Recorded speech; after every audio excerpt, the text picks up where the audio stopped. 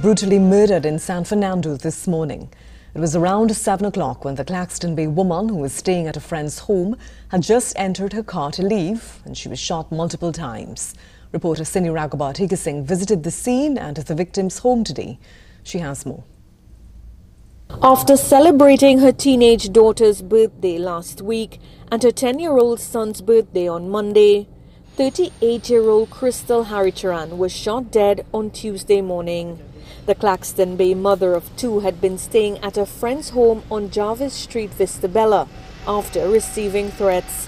We are told her home was targeted multiple times this year. The friend spoke with reporters at the scene today.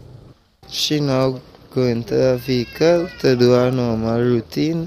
She dropped school children and as she entered a vehicle, I heard I now coming behind her about some couple steps. I see a white B-15 pull up and the gunman run out and shoot she and jump in the car and fled the scene. The man says Harry Haricharan allegedly had a dispute with a neighbor in January over a parking issue.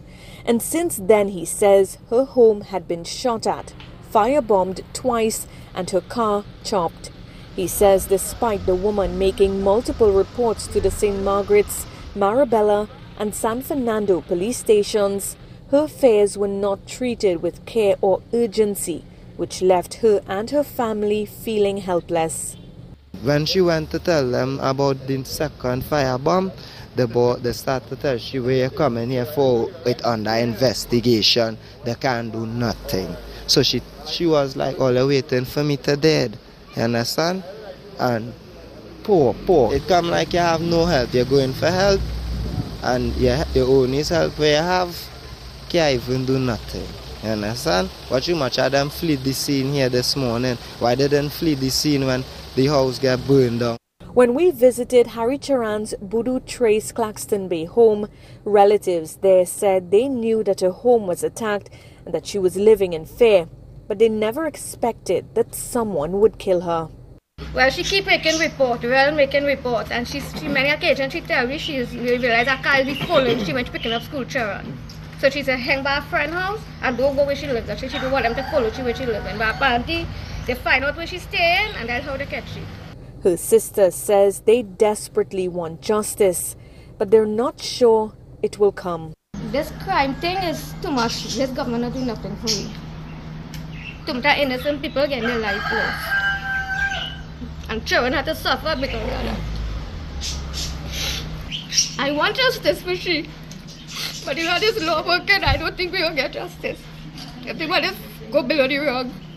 Cindy Raghubar-Teekersingh, TV6 News. In a response this afternoon, the TTPS confirmed that murder victim Crystal Haricharan did make reports at the St. Margaret's police station. They said it was in relation to damage to her vehicle which occurred on December 31, 2023, and they say her home was also firebombed. The TTPS says statements were recorded from her and from witnesses and diligent efforts were made to apprehend the named suspect. However, they say further information was received that the suspect left his home since the date of the incident and has not been located. The TTPS adds that the senior superintendent of the Southern Division maintained communication with the victim and instructions were given to have investigations expedited. The police service further states that they are unable to confirm whether those earlier reports are related to the murder of Ms. Haricharan and says investigations are ongoing.